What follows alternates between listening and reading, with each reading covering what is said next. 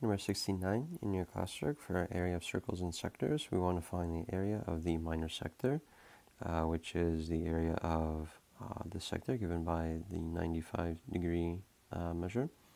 So this area is going to be the proportion of its area to the full area, so that'll be 95 degrees over 360 degrees, times the area of the full circle, which is pi r squared, and r uh, in this case is going to be uh, twice the diameter. So uh, the radius is going to be the diameter uh, divided by 2, uh, so 15 over 2.